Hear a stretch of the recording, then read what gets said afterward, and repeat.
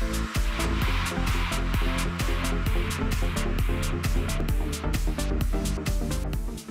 एक उनतीस वर्षीय शख्स ने अपनी शॉकिंग दावे से सबको शॉक कर दिया है। उसका कहना है कि अभिनेत्री ऐश्वर्या राय बच्चन उसकी रियल माँ है।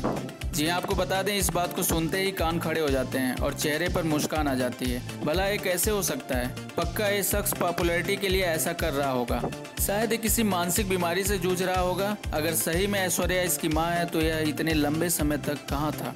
एकाएक उसे अपने रियल माँ का ख्याल आया, ऐसे कई तरह के सवाल जहन में आ रहे होंगे। लेकिन वास्तविकता तो यह है कि ऐश्वर्या राय अभिनेता अभिषेक बच्चन की पत्नी है। और दोनों एक बेटी आराध्या बच्चन के माता पिता भी हैं। खबरों के मुताबिक आंध्र प्रदेश से ताल्लुक रखने वाले उनतीस वर्षीय संगीत कुमार का दावा है कि ऐश्वर्या उनकी असली माँ है। इतना ही नहीं, कुमार राय सरनेम ही लगाते हैं। उनका कहना है कि ऐश्वर्या ने मिस वर्ल्ड का खिताब जीतने से छह साल पहले उन्हें आईवीएफ के ज़रिए जन्म दिया था।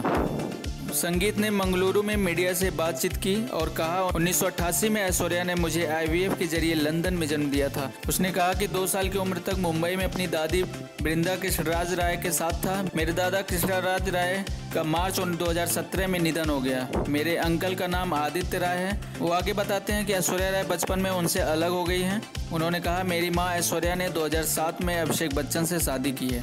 मैं चाहता हूँ कि मेरी माँ घर आ जाए और मेरे साथ मंगलुरु में रहे। मैं विशाखापट्टनम नहीं जाना चाहता। मैं चाहता हूँ कि कम से कम मेरी माँ का मोबाइल नंबर मेरे पास हो ताकि मैं आज़ाद हो सकूँ। जी हाँ आपको बता दें संगीत कुमार के पास अपनी बात साबित करने के लिए कोई दस्तावेज़ नहीं है।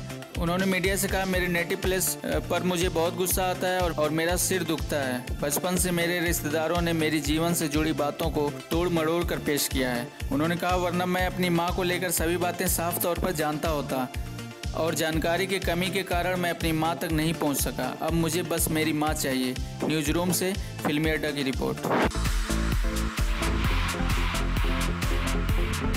Thank you.